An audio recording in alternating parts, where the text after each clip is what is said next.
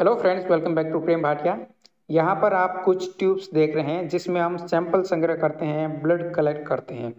तो इन ट्यूब के कलर कोड से आप पहचान सकते हैं कि यह कौन सी ट्यूब है। इस प्रकार की ट्यूब को हम ईडीटी ट्यूब कहते हैं। तो सबसे पहला सवाल है कि इन ट्यूब को ईडीटी ट्यूब ही क्यों कहते हैं? कोई दूसरा नाम क्यों नहीं दिया गया है? तो यह ईडीटी चार अक्षरों का एक संक्षिप्त रूप है। जिसकी फुल फॉर्म होती है ethylene diamine tetra acetic acid. तो अगर इसके नाम को देखें तो यह किसी एक केमिकल का नाम लग रहा है। तो हम इसके नाम से इसकी रासायनिक संरचना को लिख सकते हैं कि इसमें एथिलीन है डाईएमीन है, यानी कि एमीन के दो ग्रुप जुड़े हुए हैं और एसिटिक एसिड के चार अणु इसमें जुड़े हुए हैं। और इसके साथ कुछ और सॉल्ट ऐड हो सकते हैं, जैसे सोडियम, पोटेशियम, लिथियम। तो हम इसके अनुसार इसको और नाम दे सकते हैं जैसे डाई पोटेशियम साल्ट ई या डाई लिथियम डाई सोडियम। तो इस प्रकार से इसको भी नाम दे सकते हैं। तो यहाँ हमारे मेडिकली इम्पोर्टेंट जो केमिकल है वो है पोटेशियम वाला ईडीटीए तो देखने में ये एक छोटी सी ट्यूब है जिसमें हमें कई सारी जानकारी आ, मिल सकती है और इसके ऊपर कई सारी जो इन्फॉर्मेशन लिखी रहती है।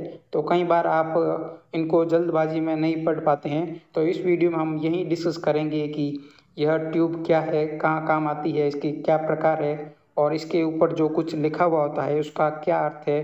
तो सारी जानकारी केवल ईडीटी के बारे में इस वीडियो में आपको मिलने वाली है। तो वीडियो के अंत तक बने रहिएगा, क्योंकि यह एक कॉमन सी, सिंपल सी ट्यूब है जो हर हॉस्पिटल में, हर लैब में सबसे पहले उपयोग में ली जाने वाली ट्यूब होती है। तो वीडियो के अंत तक बने रहिएगा और अगर आपको पसंद आए तो अपने फ्रेंड के साथ शेयर भी कीजिएगा। तो वीडियो का हमारा पहला सवाल था कि इसको ईडीटीए क्यों कहते हैं? तो इसका आंसर हमें मिल गया। दूसरा, अगर हम देखें तो इसका कलर कोड है। तो इसमें आप देख सकते हैं कि इसमें आपको कौन सा कलर दिखाई दे रहा है। मुख्य रूप से ईडीटीए को हम तीन कलर में देख सकते हैं, जिसको नाम दिया गया है। एक तो है लिवेंडर टॉप बोलते हैं जिसको, और दूसरा है पर्पल कलर और तीसरा है ब्लू कलर तो यह सभी कलर आप इस ट्यूब में देख सकते हैं। कलर में कुछ वेरिएशन मिल सकता है, जो भी इसके टॉप की मैन्युफैक्चरिंग होती है, उसके अनुसार कलर कोड मिल सकते हैं। तो जनरली आपको इन कलर कोड में ही ई डी वाइल मिलेगी, और कोई दूसरा अन्य कलर नहीं है जिसमें आपको ई ट्यूब मिलती हो। तो कई बार यह क्वेश्चन पूछा जाता है कि ई कौन से कलर कोड में आपको दिखाई देगी? तो उसमें आपके ऑप्शन हो सकते हैं लेवेंडर टॉप पर्पल ब्लू इस टाइप के ऑप्शन हो सकते हैं। तो केवल इन्हीं कलर में आपको ई ट्यूब दिखाई देगी। तो ई ट्यूब के बारे में और भी जानकारी प्राप्त करेंगे, लेकिन इससे पहले देख लेते हैं कि ये हमारे सामने एक ट्यूब है। तो इसके ऊपर क्या क्या लिखा हुआ है और उसका क्या अर्थ है, उसको हम समझ लेते हैं। तो सबसे ऊपर आप इसका ढक्कन देख रहे हैं। तो हमने जो इस कलर के बारे में बात की, यह एक सिंबल है ताकि आपको पहचानने में आसानी से। मान लीजिए आपके पास चार ट्यूब है, जिसमें ई सार के लिए आपको वन एम सैंपल कलेक्ट करना है सीबीसी के लिए दो एम सैंपल कलेक्ट करना है, लिपिड के लिए तीन एम और पीटी के लिए चार एम आपको सैंपल कलेक्ट करना है। तो यदि आपके पास कलर कोड नहीं होगा, हो सकता है कि ई सार के लिए आपने तीन एम सैंपल ले लें और लिपिड प्रोफ़ाइल के लिए केवल आप एक एम ही ब्लड लें। तो इस तरह की प्रॉब्लम ना हो। तो इसको समझने के लिए एक यूनिवर्सल कोड दिया गया है कि आप जहाँ कहीं भी जाएँगे तो वहाँ पर आपको इसी कलर कोड में आपको वाइल दिखाई देगी। दूसरी बात कि इसका जो ट्यूब का मटेरियल वो प्लास्टिक हो सकता है, अच्छी क्वालिटी का प्लास्टिक हो सकता है या ग्लास में भी आपको मिल सकती है, जो अच्छी क्वालिटी की ट्यूब्स होती है, उसमें आपको ग्लास की ट्यूब मिल जाएगी और ऊपर का जो कवर होगा, वो आपको प्लास्टिक ढक्कन के रूप में दिखाई देगा। उसके बाद देखते हैं कि इसमें आपको उस कंपनी का नाम लिखा होगा और हो सकता है कि इसमें आपको उसका एड्रेस भी दिखाई दे। उसके बाद इस ट्यूब का आपको प्रकार दिखाई देगा कि यह ट्यूब वैक्यूम ट्यूब है या नॉन वैक्यूम ट्यूब है? जो वैक्यूटेनर हम यूज़ में लेते हैं, उसके लिए वैक्यूम ट्यूब होना आवश्यक है। उसके बिना आप सैंपल संग्रह नहीं कर सकते। इसके साथ ही यह ट्यूब किस कैपेसिटी की है, वो भी आपको मेंशन किया हुआ मिल जाएगा। जैसे यहाँ पर आप देख रहे हैं, यह एक थ्री एम की ट्यूब है और यह वैक्यूटेनर है। अर्थात इसमें थ्री एम का ब्लड वैक्यूम के द्वारा इसमें संग्रह किया जा सकता है और इस ट्यूब की कैपेसिटी तीन एम है अर्थात आपको तीन एमएल ही ब्लड इसमें कलेक्ट करना है, ना तो कम करना है, ना अधिक करना है। क्योंकि यदि सैंपल कम होगा तो इसमें ई e का रेशियो ब्लड के साथ मिक्स होगा तो वह गड़बड़ा जाएगा। इसके विपरीत यदि आपने तीन एमएल के विपरीत आपने चार एमएल सैंपल संग्रह कर लिया है तो हो सकता है कि आपका जो सैंपल है वो खराब हो, क्योंकि इसमें तीन एम के लिए पर्याप्त एंटीकोगुलेंट है, उसके बाद हो सकता है कि आपका सैंपल क्लॉट हो और कुछ छोटे छोटे क्लॉट आपको मिल जाए, जिसकी वजह से हो सकता है कि आपके मशीन में प्रॉब्लम हो मशीन खराब हो सकती है। तो इस बात का विशेष कर ध्यान रखें कि इसमें कितने एमएल आपको सैंपल संग्रह करना है।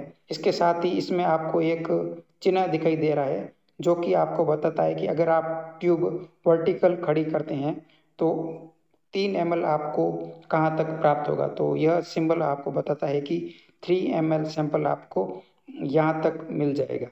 तो अगर आप ढक्कन खोल के सिरिंज की सहायता से सैंपल लेते हैं तो इस चिन्ह तक आपको सैंपल लेना है। भले ही आपने सैंपल अधिक ले लिया है सिरिंज में तो उसको डिस्कार्ड करना है या किसी और ट्यूब में ले सकते हैं। लेकिन इस ट्यूब में आपको three M L two M L one M L जो भी मेंशन किया गया है उसी के अनुसार आपको सैंपल संग्रह करना है। इसके साथ आप देखते हैं कि ईडीटी का कौन सा प्रकार है, वो भी इसमें मेंशन किया हुआ होता है कि इसमें कौन सा साल्ट है या कौन सा आयन है। जैसे इसमें सोडियम आयन है, पोटेशियम आयन है या लिथियम आयन है तो इसमें ईडीटी में आप देख रहे हैं, इसमें के थ्री ई लिखा हुआ है। अर्थात इसमें पोटेशियम आयन है और पोटेशियम आयन वाला ई है और पोटेशियम आयन कितने हैं? तीन है। तो अगर किसी में के टू ई डी टी है, अर्थात उसमें पोटेशियम के दो आयन है, और अगर के थ्री लिखा है, इसका अर्थ है कि इसमें पोटेशियम के तीन आयन है। इसी के साथ इस ट्यूब में लेबल पर आपको कुछ जगह दे रखी होती है, जिसमें पेशेंट्स का नाम, पेशेंट्स आईडी, डेट आदि यह कुछ लिखना होता है। तो उसके लिए आपको यहाँ पर जगह दी गई है। तो यहाँ पर आप सैंपल संग्रह करने से पहले या सैंपल संग्रह करने के बाद पेशेंट्स का नाम, आईडी और डेट ध्यानपूर्वक लैब नंबर लिख सकते हैं, मेंशन कर सकते हैं। इसके बाद आप देखते हैं इसमें लॉट नंबर और एक्सपायरी डेट भी लिखी रहती है और एक्सपायरी डेट के बाद इस ट्यूब को उपयोग में नहीं लेना है क्योंकि इसमें ई e एक केमिकल है जो एक निश्चित समय के बाद एक्सपायर हो जाता है, उससे पहले आपको इसको उपयोग में लेना है। तो यदि आप एक्सपायर्ड ट्यूब का उपयोग लेते हैं तो हो सकता है कि आपका सैंपल जल्द ही क्लॉट हो जाए और आप जो अनक्लॉटेड ब्लड चाहते हैं ईडीटी के माध्यम से, वो आपको नहीं मिल पाएगा। इसके अतिरिक्त आपको कुछ दो तीन सिंबल दिखाई दे सकते हैं, जिसमें आप एक देख सकते हैं, दो जिस पे क्रॉस किया गया है। तो इसका अर्थ होता है कि आपको इस ट्यूब को दोबारा उपयोग में नहीं लेना है, अर्थात यह सिंगल यूज़ है। उसके बाद यह एक कोने में आप देख रहे हैं, लिखा हुआ आईवीडी जिसका अर्थ होता है इन विट्रो डायग्नोसिस यह लैब के यूज़ में आने वाला एक आइटम है जो यह सिंबल बताता है। इसके अलावा आपको यहाँ पर एक सी ई e लिखा हुआ सिंबल मिल जाएगा। यह सिंबल निर्धारित करता है कि यूरोपियन यूनियन द्वारा निर्धारित रूल और रेगुलेशन जैसे सेफ्टी हेल्दी और इन्वायरमेंटल फ्रेंडली को यह फॉलो करता है। तो यह डिक्लेरेशन अगर यह कोई मैन्युफैक्चरर करता है तो यह उस सिंबल के रूप में आपको उस प्रोडक्ट पर दिखाई देता है। तो यह सी ई e उस सिंबल को शो करता है। इसके अलावा कुछ ट्यूब में आपको यह दिखाई दे सकता है कि वह ट्यूब स्टरलाइज है या नहीं है। तो यह भी आपको ट्यूब पर मेंशन किया हुआ मिल जाएगा, जैसे इसमें आप देख रहे हैं स्टरलाइज ए लिखा हुआ है। यह तो हो गई ट्यूब की बात। तो कुछ और जानकारी जो आपको प्राप्त करनी है, उसके बारे में बात कर लेते हैं। इस ट्यूब में हम जो ई e यूज़ में लेते हैं, वो लिक्विड में ले सकते हैं और सॉलिड में ले सकते हैं। तो जो आप K two E D vial देखते हैं, उसमें हम सॉलिड ई का प्रयोग करते हैं और के थ्री ई में आप देखते हैं कि जो ई होते हैं, आपको कुछ ड्रॉप्स के रूप में दिखाई देता है। तो वह के थ्री वाइल में आपको दिखाई देगा। के थ्री ई वाइल में आपको लिक्विड और K two E D while में आपको सॉलिड ई देखने को मिलता है। और ई की मात्रा कितनी होगी? 1.5 पॉइंट पर एम होता है। अर्थात आपको अगर दो एम ब्लड के लिए ई e इसमें ट्यूब में ऐड करना है तो इसके लिए आपको थ्री एम जी इसमें ऐड करना होगा। और यह टू एम ब्लड को क्लॉट होने से रोकने के लिए पर्याप्त ई e की मात्रा है। तो यह ई e किस प्रकार से क्लॉटिंग को रोकता है, उसके बारे में बात करते हैं। तो आप जानते हैं कि तेरह क्लॉटिंग फैक्टर होते हैं जिसकी मदद से कोई भी ब्लड क्लॉट होता है। तो अगर इन क्लॉटिंग फैक्टर में से अगर किसी एक फैक्टर को भी अगर हम इस पूरी मैकेनिज्म से रिमूव कर देते हैं तो आप देखते हैं कि ब्लड क्लॉट नहीं होता है। तो ई e क्या काम करता है कि ब्लड में जो कैल्शियम होता है, जो कि एक इम्पोर्टेंट क्लॉटिंग फैक्टर है, अगर हम इसको रिमूव कर देते हैं तो ब्लड क्लॉट नहीं होता है। तो ई e यही काम करता है। तो जब भी आप सैंपल संग्रह करते हैं तो ट्यूब में जो ई e है, उसको ब्लड के साथ अच्छी तरीके से मिक्स करना है तो मिक्स करने के लिए आपको ट्यूब को आठ बार इन्वर्ट करना है, अर्थात ऊपर से नीचे की ओर ले जाना है, ना कि इसको सेक करना है। सेक करने से आरबीसी टूट सकती है और सेल क्षतिग्रस्त हो सकती है, जो कि रिज़ल्ट में वेरिएशन लाता है और हो सकता है कि आपका पूरा ब्लड ही हीमोलाइज हो, जो कि ब्लड टेस्ट के लिए उपयोग में नहीं लिया जा सकता है। तो सैंपल संग्रह के बाद जितना जल्दी हो सके उस ट्यूब से टेस्ट लगा देना चाहिए। इसके बावजूद यदि आपके पास समय कम है और कुछ और भी आपके सैंपल है कि इसको आप जल्द से जल्द नहीं लगा सकते हैं तो इसके लिए आप इसको 12 घंटे के लिए रेफ्रिजरेट कर सकते हैं। उस दौरान आपको इसके रिज़ल्ट में कोई भी वेरिएशन देखने को नहीं मिल सकता है। मैक्सिमम आप 12 घंटे के लिए उसमें रेफ्रिजरेटर में सेव कर सकते हैं।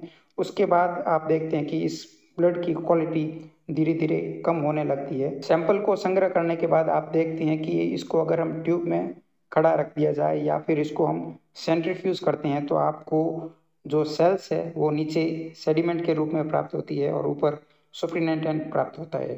तो उसमें आपको जो प्लाज्मा दिखाई देता है, उसको हम ई डी प्लाज्मा कहते हैं। अगर ये हम सिट्रेट ब्लड में लेते हैं तो इसको सिट्रेट प्लाज्मा कहते हैं। हिपेरिन में लेते हैं तो हिपेरिन प्लाज्मा कहते हैं। तो इसको हम ई डी प्लाज्मा कहते हैं, not E D serum.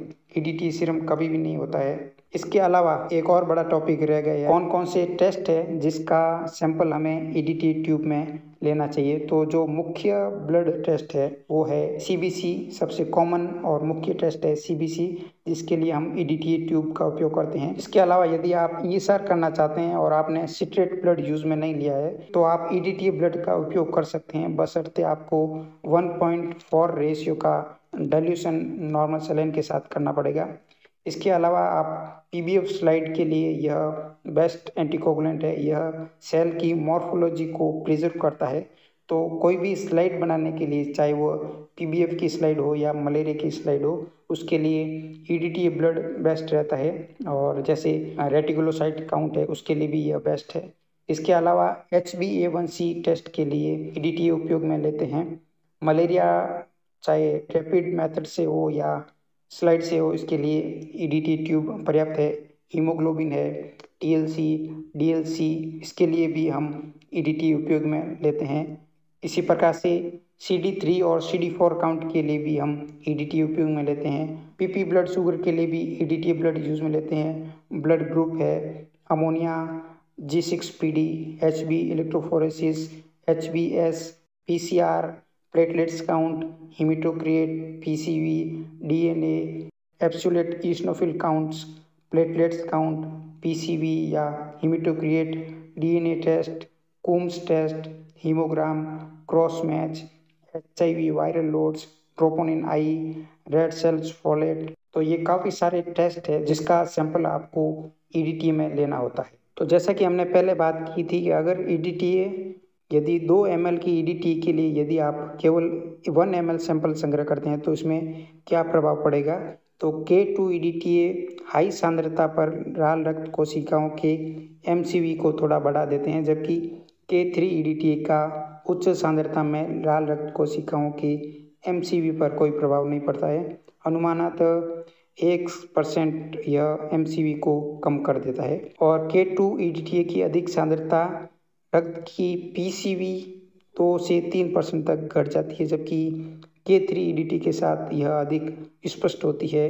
अर्थात के टू ई के मुकाबले के थ्री ई बेस्ट रहता है। तो आपने देखा कि ईडीटी की बात करते करते यह वीडियो कितना लंबा हो गया है।